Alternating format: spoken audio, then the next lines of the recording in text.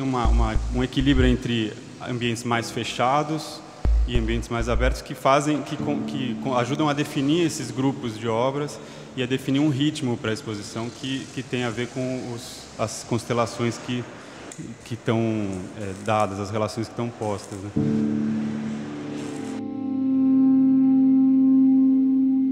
A coisa mais legal desse projeto foi inventar um sistema que eu acho que funcionou super bem para trabalhar junto com os curadores para conseguir chegar nisso. Cada vez você tira um porque ah, o cara quer uma sala fechada, não sei o que, não pode ser aqui, tira para cá. E é tipo um jogo de um efeito dominó, sabe? Começa a desmontar tudo e tal. Então isso foi o primeiro ponto que era bem bidimensional, assim que serviu para organizar. Aí a gente começou, passou para essa fase que é já tridimensional. Então uns que precisam de sala fechada, uns que precisam de teto, uns que o trabalho convive bem com o fluxo de gente. Então tem as plantas aqui cada artista, por exemplo. Toda essa maquete que está aqui física, ela está lá no que o Bruno está mexendo. Então toda vez que você mexe qualquer coisa naquele modelão, essas folhinhas, no, então a gente pode reimprimir elas atualizadas, entendeu? E isso é, é, um, é, é vivo, né? Fica o tempo inteiro sendo atualizado.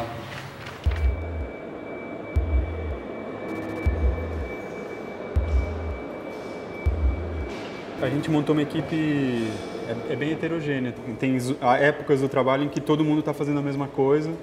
Por exemplo, na criação geral do, dessa maquete, dessa solução toda, todo mundo discutiu tudo todas as soluções, quais são as alternativas. Cada um estudou algum artista mais a fundo, a gente dividiu os, os artistas para a gente conseguir conhecer a obra e tal, então todo mundo participou junto. Aí, à medida que a gente vai entrando no detalhamento, naturalmente as, as, as funções vão se dividindo. A gente faz um pouquinho de tudo sempre, é uma loucura, a gente tem que tentar resolver todos os problemas. E mais agora, especificamente, a gente está tentando é, dividir um pouco as coisas para ir para frente. Eu fiquei com o desenho das salas, as elevações, tipo essa troca com o artista, manda a planta para o artista, o artista responde, vê o que tamanho certinho de tudo. O ideal é que se pense junto com a expografia, se pense todos os fatores. Assim como o Martin comentou sobre os hidrantes, que são um fato que estão ali, que a gente tem que considerar na expografia. Quanto antes a gente puder é, considerar questões técnicas, impedimentos, restrições, a gente consegue ganhar em qualidade de projeto. Eu sou voluntária da equipe de arquitetura e estudante ainda do primeiro ano. É, a minha função principal é tentar ajudar a organizar e fazer pesquisa para as áreas de apoio, então é, as salas do educativo, imprensa, todas essas áreas que são muito importantes para a exposição também. Primeiro é que é diferente de qualquer projeto de arquitetura, de qualquer prédio. É, muda, as coisas estão mudando sempre muito rápido. E outra coisa que, que vale é que a gente está lidando pela primeira vez com software que consegue responder a essa dinâmica. A gente não precisa ficar muito preocupado em questão de representação, de repetir, mastigar desenho, refazer várias coisas. É mais uma questão de, de projeto mesmo.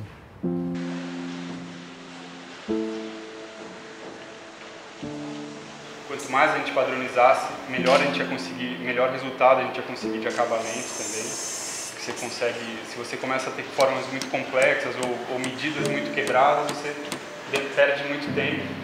Também tem uma questão de economia? A gente conseguir otimizar os recursos, não ter perda de material. A gente usou muito material que foi usado em exposições passadas que eles tinham aqui. Então, ao invés de jogar fora milhares de metros quadrados de madeira, a gente, a gente, quando acabou a exposição passada, a gente conversou, viu, avaliou que, que dava assim para usar e armazenou, sei lá, 70% daquele material que agora vai, vai ser usado. Então também a gente adotou esse módulo por conta disso. E aí a gente começou a trabalhar adaptando essas ideias mais conceituais ao, ao sistema que a gente tinha. Que é, na verdade é super simples, é 1,85 e três alturas diferentes. Né? E aí isso dá milhões de combinações possíveis.